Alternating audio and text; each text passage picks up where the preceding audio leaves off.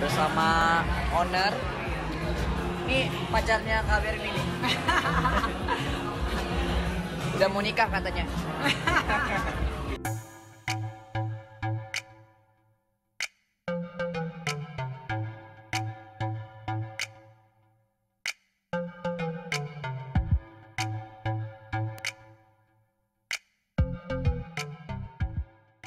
Lama tak ada pemberitaan pasca dirinya bercerai dari Aming, kini janda dari Aming Evelyn mengenalkan pacar barunya di sosial media pribadinya. Namun pasca dirinya memamerkan pacar baru, kemudian dirinya diberitakan kalau dirinya pelakor oleh salah satu wanita seorang DJ bernama Bella di sosial media pribadinya.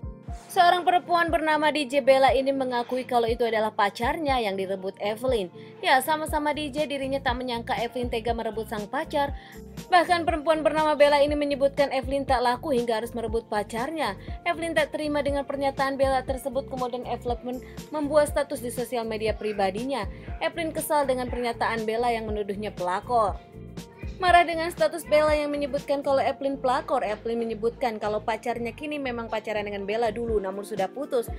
Tak mau ribut di sosial media, Evelyn merasa dirinya kesal malah ingin bertemu dengan Bella.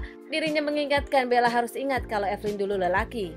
Alkan Markedo sebagai pacar Evelyn sekarang dirinya membela Evelyn merasa sudah lama putus dengan Bella dirinya pun tak mengerti kenapa Bella menyebutkan Evelyn merebut dirinya dari Bella. Berpacaran dengan Evelyn mengakui kalau dirinya pacaran dengan Evelyn dan membantah kalau Evelyn pelakor bilang kalau Bella halu. ini aku sekarang lagi ada di Holy Wings Tanjung Duren Megang satu aja dikit. Megang satu aja. Hmm. Megang satu aja. Hai, wis bangki banget gue ya Masyarakat mengenal Evelyn saat Evelyn menikah dengan Aming, warga orang Indonesia yang jadi warga negara Jepang dan tinggal di Jepang ini kemudian balik lagi ke Indonesia berpacaran dengan Aming dan menikah dengan Aming.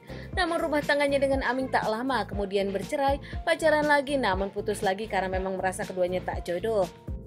Sempat diberitakan berpacaran dengan Roy Kiyoshi pasca dirinya menjadi janda Aming dan juga pernah berpacaran dengan Isakan, namun Evelyn menyebutkan kalau dirinya dengan Roy Kiyoshi hanya berteman, bersahabat, bahkan menganggapnya kakak. Kini pasca dirinya lama bercerai dengan Aming, dirinya mempublikasikan pacar barunya. Pasca dirinya mempublikasikan pacar barunya, dirinya malah disebut pelakor oleh salah satu DJ bernama Bella karena dituduhkan merebut pacarnya. Namun Evelyn dan sang pacar langsung membantahnya. Berputus dengan Bella dan kemudian berpacaran dengan Evelyn, tak ada hubungannya Evelyn pelakor. Hmm, pengen deh berbagi ilmu pengen ngade pengen ngajalin DJ gitu cuman kira-kira kalau aku buka les private DJ ada yang mau nggak ya diajarin sama aku Hey boys and girls, if you like our video, subscribe here. Click here for our new videos and click here for something just for you.